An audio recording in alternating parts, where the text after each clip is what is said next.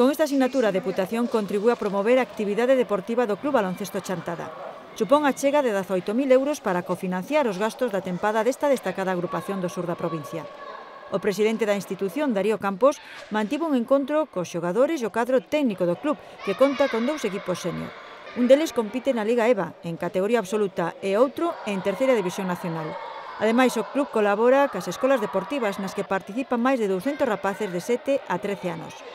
Campos Conde dixo que esta colaboración forma parte da aposta da Deputación polo deporte base e o fomento de valores deportivos como o sacrificio, a superación e os hábitos de vida saudables.